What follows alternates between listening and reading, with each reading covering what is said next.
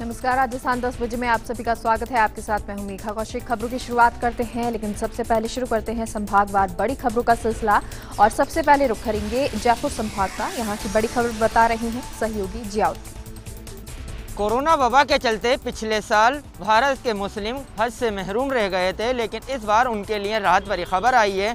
क्योंकि इस बार पूरे देश भर से 4000 लोग सऊदी अरब हज करने के लिए जाएँगे, लेकिन उसके लिए जो दिशा निर्देश जारी किए गए हैं, उसकी पालना भी की जाएगी। इस साल होने वाले हज के लिए सऊदी अरब की सरकार की ओर से कोटा तय किया गया है, जिसमें करीब साठ हज़ार लोग शामिल होंगे, जिसमें स्थानीय लोग और विदेशी भी शामिल होंगे। इसके चलते भारत से करीब चार हज़ार हाजी इस हज में सम्मिलित होंगे। हज के सफ़र पे केवल साठ से साल तक के लोग ही जा सकेंगे। साथ ही केवल वे हाजी सफ़र पर जा सकेंगे, जिन्होंने वैक्सीनेशन की दोनों डोज लगवा ली हो, जो सऊदी अरब सरकार की तरफ़ से अनुमोदित हो। वहीं एक तरफ़ का प्रमाण पत्र भी देना पड़ेगा कि वो पिछले छः महीने में अस्पताल में भर्ती नहीं हो पाए। हज पे जाने से पहले दिशा निर्देशों की पालना करना पड़ेगी और जैसे ही सऊदी अरब पहुँचेंगे, उसके बाद उनका कोविड टेस्ट किया जाएगा, तीन दिन के उन्हें क्वारंटाइन किया जाएगा और उसके बाद हज का सफ़र शुरू होगा। ऐसे में अब देखना यह है कि प्रदेश के पहली फ़्लाइट कब हज के लिए रवाना होगी। रुक करते हैं अजमेर संभाग का यहाँ की बड़ी खबर बता रही हैं सहयोगी कौशल जैन। चक्रवाती तूफ़ान ताउते के बाद याश का दिखाई दिया अजमेर में असर।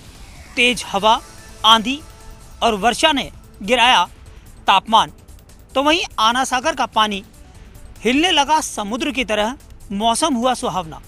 चक्रवाती तूफ़ान ताउते के बाद याश की दस्तक अजमेर में महसूस की गई।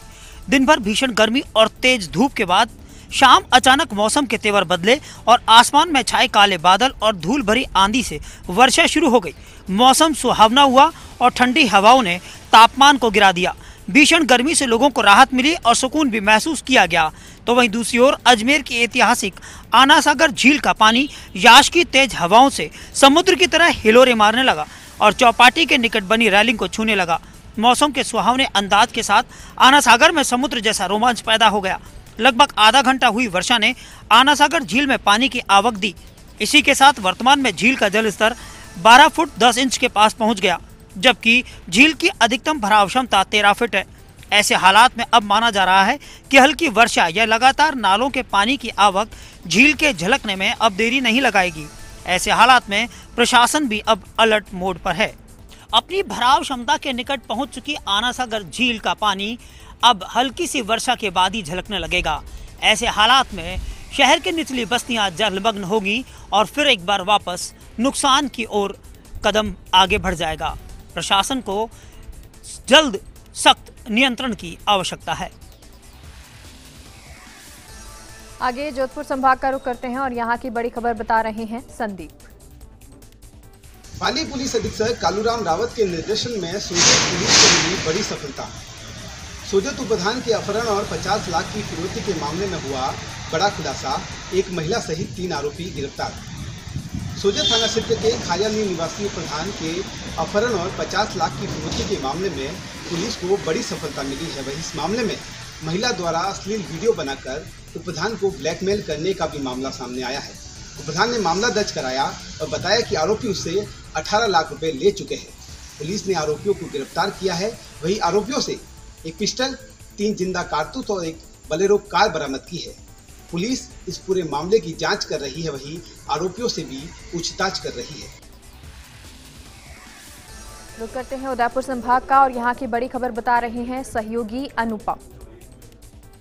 बांसवाड़ा शहर से 20 किलोमीटर दूर छींच गाँव में करंट लगने से माँ बेटे की मौत हो गई। हादसा इतना दर्दनाक था कि पल भर में ही दोनों की जीवन लीला समाप्त हो गई और कोई कुछ कर भी नहीं सका, जबकि इस घटना में बेटा माँ को बचाने के लिए गया था। हालाँकि उन्हें परिजन अस्पताल लेकर आए, पर दोनों को बचाया नहीं जा सका। छींच निवासी उमिया देवी आज सुबह तड़के उठी और सुबह छः बजे अपने बाथरूम में गई और उन्होंने लाइट को ऑन करके अंदर घुसी और अचानक से वे बाथरूम में गिर गई। इस दौरान उनकी चीख भी ज़बरदस्त निकली। ऐसे में घर के तमाम लोगों ने उनकी आवाज़ सुनी। तो उनका 26 वर्षीय बेटा हार्दिक राठौर भाग के गया और बाथरूम में सीधे घुस गया और माँ को उठाने की कोशिश की। इसी दौरान वह भी ज़मीन पर एक सेकंड में ही नीचे आ गिरा। ऐसे में घर वालों को समझते देर नहीं लगी कि यह करंट का मामला है। इस कारण सबसे पहले बिजली के बोर्ड से प्लग को बंद किया गया, बटन बंद किए गए। उसके बाद दोनों को मौके से निकालकर सीधे महात्मा गांधी अस्पताल लेकर आए।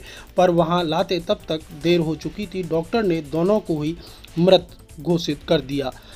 इधर जानकारी मिली है कि बाथरूम के जो दरवाज़ा था वो लोहे का था और उसके पास में ही बिजली का बोर्ड था, जिसके कारण यह करंट लगा। हालाँकि प्रशासन की ओर से तहसीलदार ने मौका निरीक्षण किया है और आर्थिक मदद का भरोसा दिलाया है। सभी लोग सामान्य तरह जानते हैं कि यदि किसी को करंट लग जाए तो उसे छूना नहीं चाहिए, पहले बिजली कट करनी चाहिए। पर यहाँ एक गड़बड़ हो गई। माँ को बेहोश देखकर बेटा आवेश में आ गया और उसने माँ को बाथरूम में जाकर उठाने की कोशिश की। अगर वह समय रहते पहले बिजली काटता और उसके बाद माँ को उठाता तो निश्चित मान के चलिए, बेटा तो बचता ही माँ को भी बचा लिया जाता। ऐसे में हमेशा हम एक मांग रखते हैं अपने तमाम दर्शकों से कि यदि ऐसा हादसा हो तो पहले बिजली की सप्लाई बंद करें, उसके बाद सामने वाले व्यक्ति की मदद करें। आगे रुक करते हैं, बीकानेर संभाग का यहाँ की बड़ी खबर बता रहे हैं सहयोगी लक्ष्मण राघव। कोरोना में भी करप्शन। जी हाँ कोरोना की फ्री होने वाली जाँच में भी करप्शन हो रहा है। बीकानेर में एसीबी की टीम ने ऐसे ही एक मामले का खुलासा करते हुए लैब टेक्नीशियन और दलाल को रंगे हाथों गिरफ़्तार किया। Lab technician Ravindra Upadhyay Gangashahar hospital में काम कर रहा था और आरटीपीसीआर करने की एवज में प्रति आरटीपीसीआर आठ सौ रुपये लेता था। दो लोगों से सोलह सौ रुपये वसूले गए थे। एसीबी की टीम ने बोगस ग्राहक भेजकर सत्यापन कराया और उसके बाद कार्रवाई को अंजाम दिया। एडिशनल एसपी रजनीश पुनिया ने जानकारी देते हुए बताया कि सरकारी किट से ही ये जाँच करता था, लेकिन कहता ये था कि निजी लैब में जाँच करवाई जा रही है। कुल मिलाकर इस करप्शन ने स्वास्थ्य विभाग के भीतर भी कई सवाल निशान छोड़े हैं कि क्या स्वास्थ्य विभाग में सब कुछ इतना साफ़ नहीं है। दूसरी तरफ़ एडिशनल एसपी रजनीश पुनिया का कहना था कि ये एसीबी की कार्रवाई एक संदेश छोड़ेगी कि एक तरफ़ जो लोग कोरोना की घड़ी में अपनी तरफ़ से मदद कर रहे हैं वहीं कुछ घूसखोर ऐसी कोशिश भी कर रहे हैं जो सरकार की कोशिशों पर भी पलीता लगा रही है।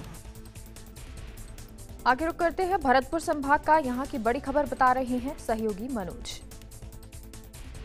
जिला मुख्यालय पर एसबीआई बैंक शाखा में फर्जीकारी कर चेक के ज़रिए करीब एक करोड़ रुपए की राशि निकासी का प्रयास कर रहे अंतर्राज्यीय गैंग के पाँच बदमाशों को पुलिस ने दबोच लिया। इन बदमाशों में चार उत्तर प्रदेश के, जबकि एक करौली का निवासी है। मामले का खुलासा करते हुए पुलिस अधीक्षक मृदुल कछावा ने बताया कि एसबीआई बैंक शाखा में उत्तर प्रदेश निवासी अमित कुशवाहा, हेमंत कुशवाहा, शैलेश मिश्रा, राकेश जाट और करौली में पदेवा निवासी नरसी माली बैंक में अकाउंट नंबर के आधार पर राशि होने की जानकारी कर रहे थे। ब्लैंक चेक उनके पास था। इसको देखकर बैंक शाखा प्रबंधक केसी मीना को शंका हुई और उन्होंने कोतवाली पुलिस को सूचना दी। इस पर सीआई रामेश्वर दयाल एएसआई चंद्रसेन और कांस्टेबल सुग्रीव तत्परता दिखाते हुए मौके पर पहुँचे और आरोपियों से पूछताछ की। इस दौरान पता चला कि आरोपियों के पास उत्तर प्रदेश सरकार का गारंटी योजना का एक चेक था।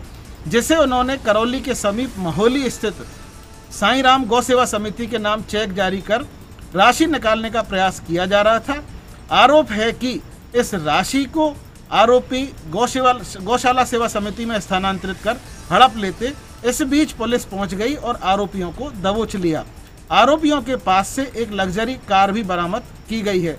पुलिस अधीक्षक मृदुल कछावा का कहना है कि इस तत्परता से राशि स्थानांतरण से रुक गई गिरफ़्तार आरोपियों से पूछताछ की जा रही है।